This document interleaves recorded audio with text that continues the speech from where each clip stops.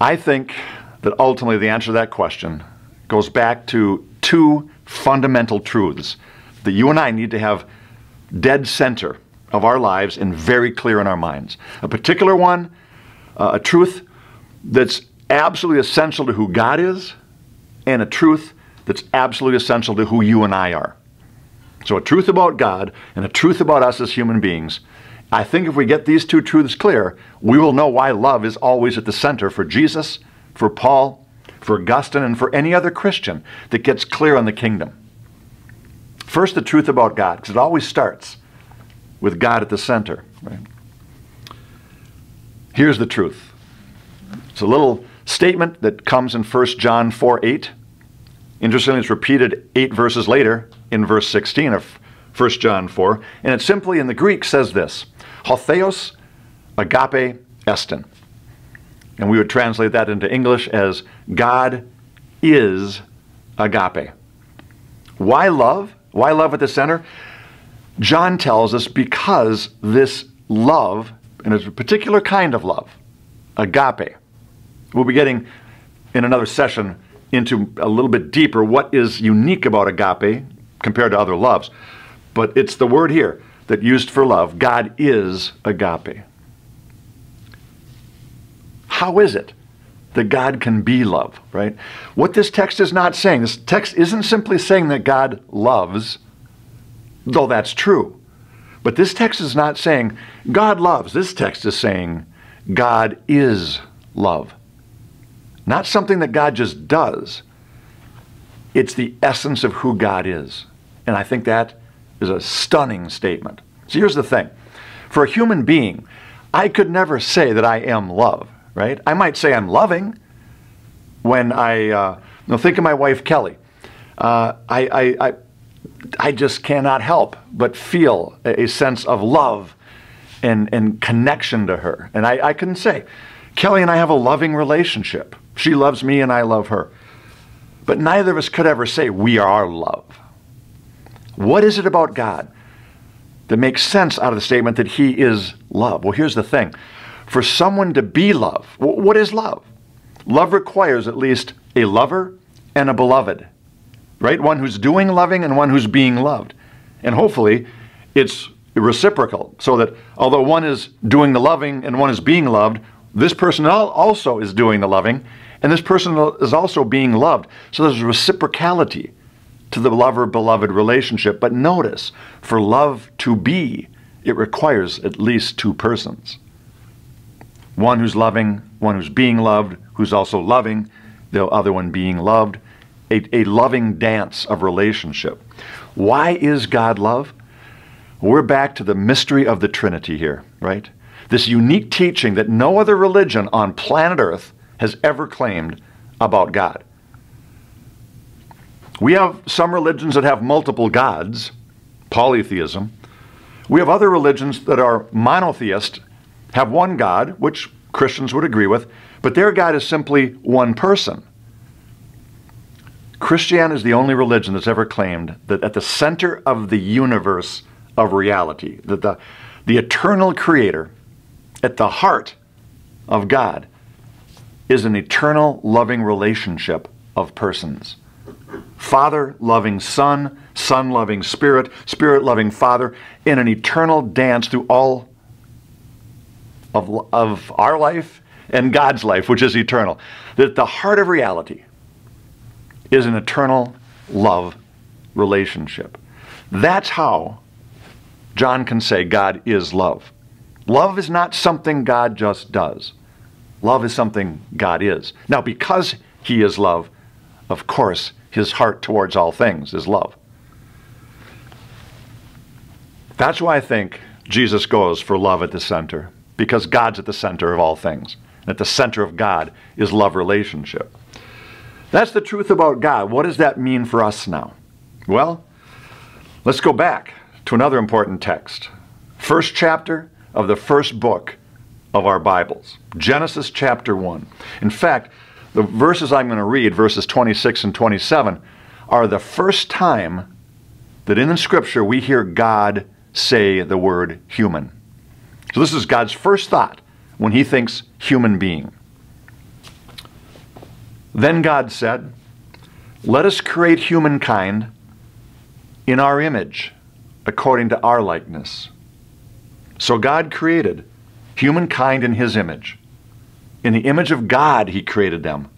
Male and female, he created them. An amazing text.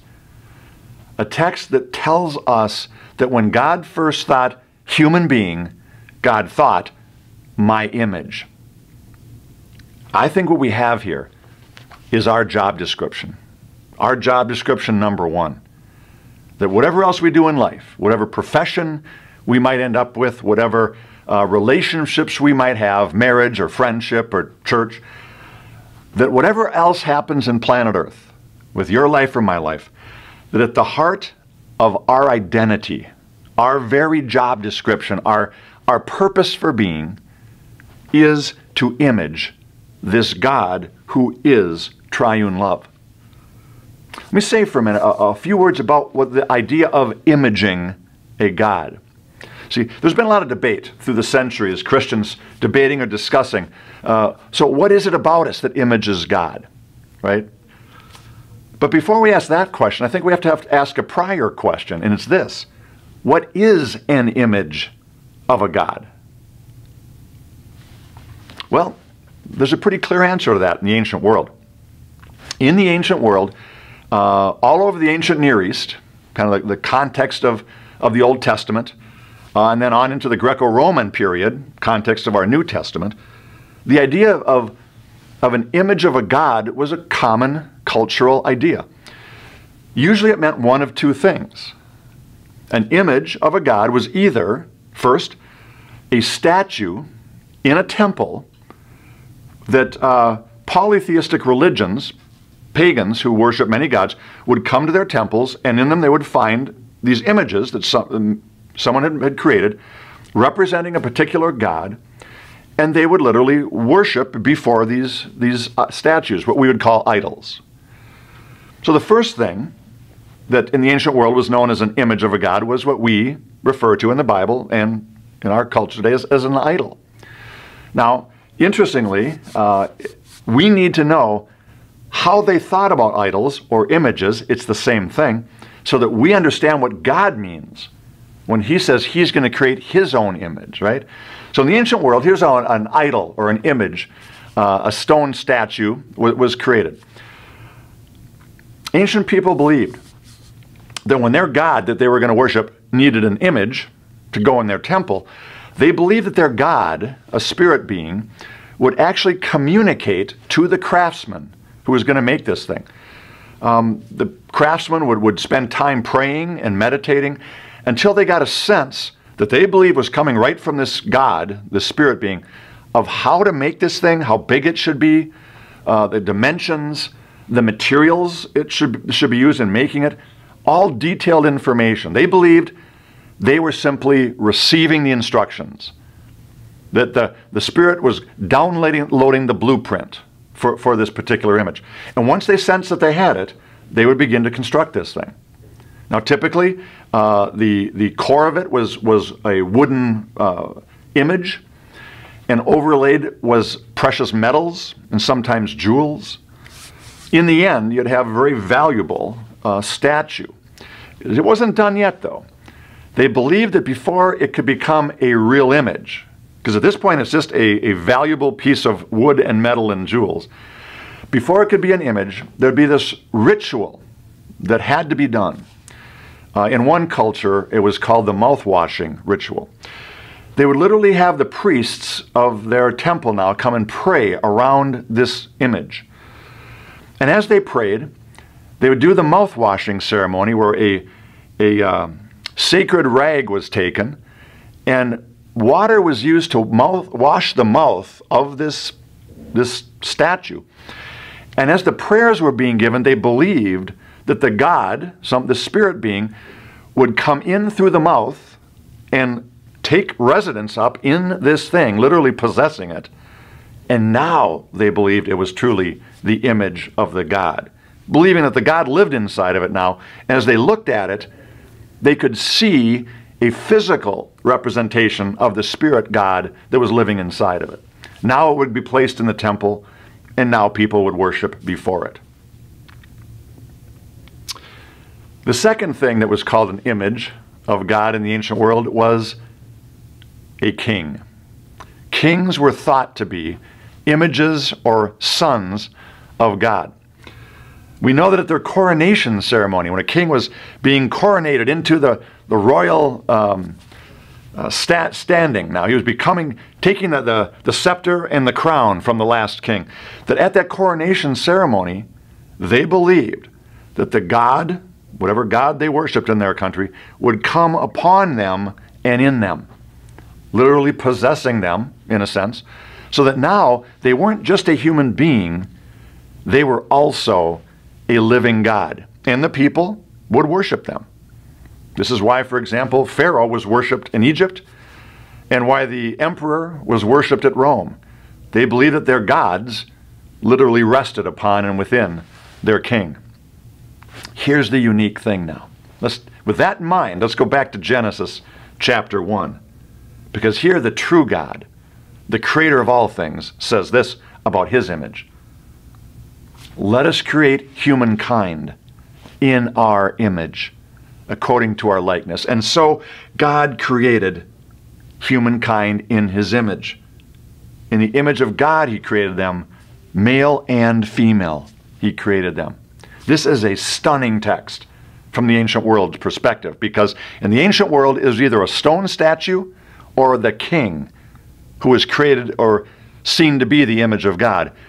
The true God says, no, it is every human being. Not just the elite king, not some lifeless statue in a temple. Every human being is created to be the image of God. And not just males, which would have been very easy to say in an ancient patriarchal culture. No, male and female, created in the very image of God. No other ancient creation text of all the cultures around Israel talks this way about the dignity and value and worth of all human beings. From the highest ranks to what we would consider in society the lowest ranks, God doesn't see it that way. All are created to be images of His true triune nature.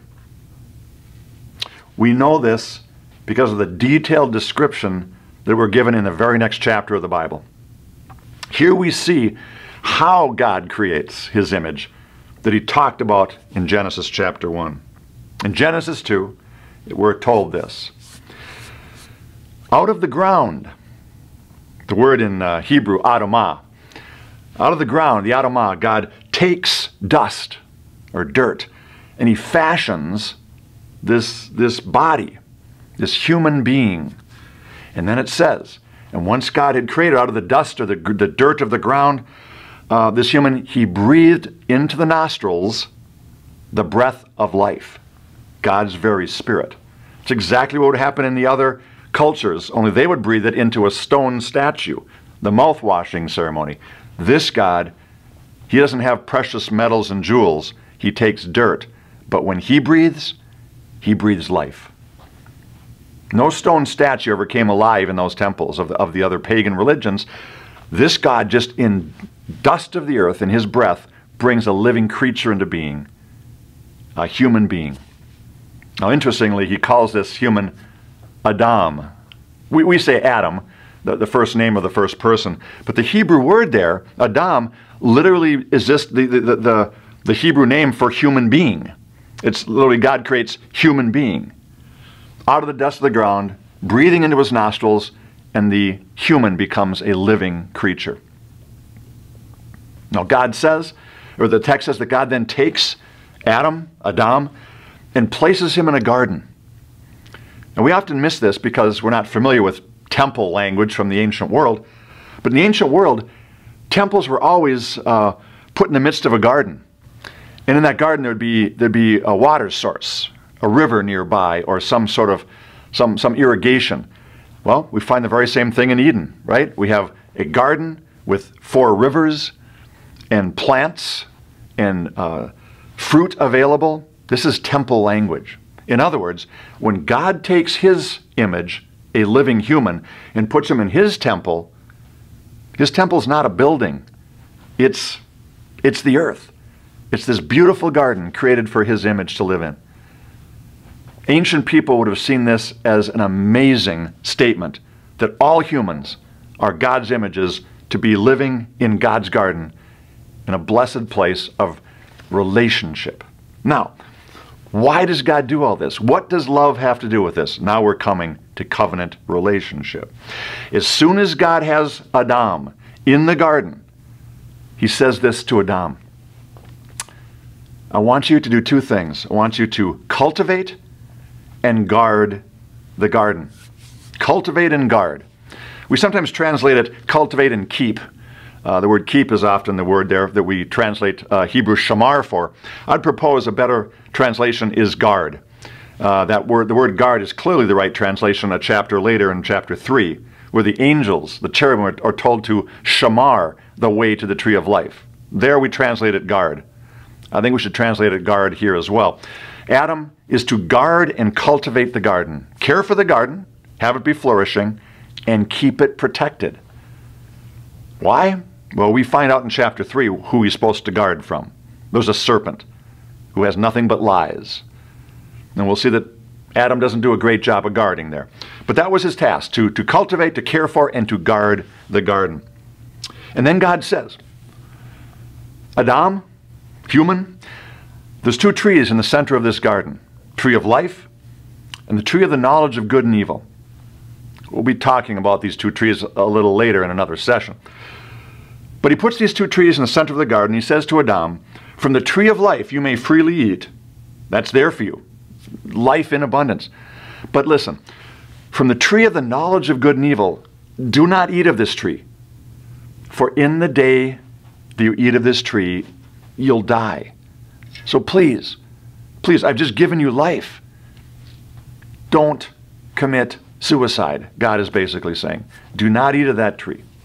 Now, this raises a lot of questions. What's so bad about the knowledge of good and evil?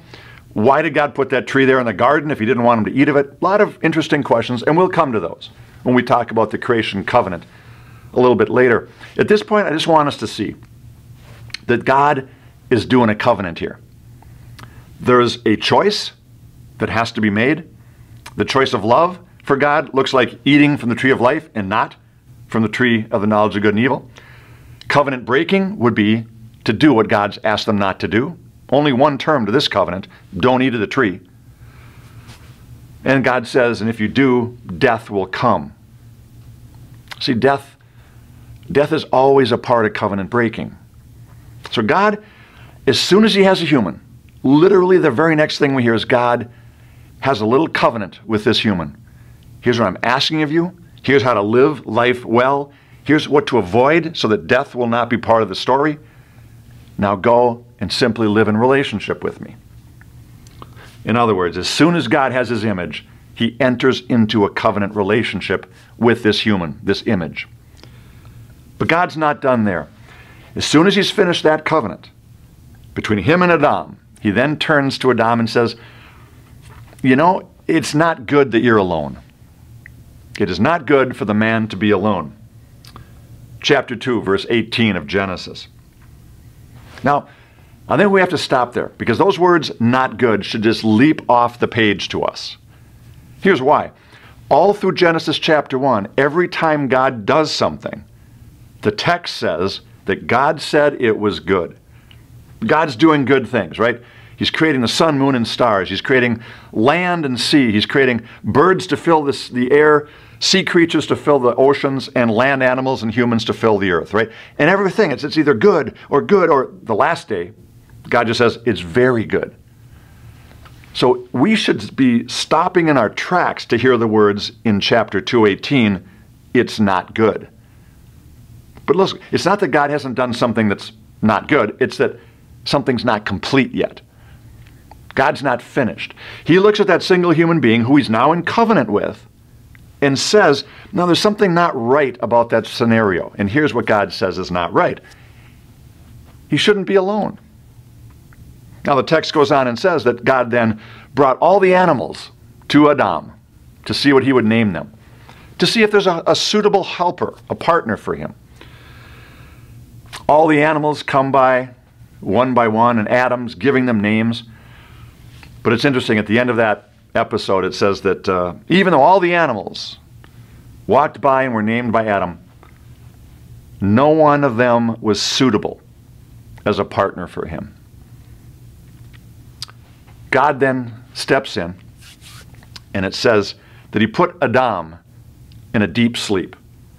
Now, whenever you hear God, particularly in the book of Genesis, putting someone in a deep sleep, be ready for something covenantal to happen. This happens to Adam here, and God does a cool covenant. In a few chapters, God will put Abraham in a deep sleep. And again, a beautiful covenant thing happens. I think the picture we have here is God just lets us rest while He takes care of our covenants. He puts Adam to sleep. The first human surgery happens. And out of the rib, out of his side, a piece is taken and a woman, literally means out of man, is fashioned. And the text says that, that God brought her, brought her to the man, and his response is, Ah, this is bone of my bone, flesh of my flesh.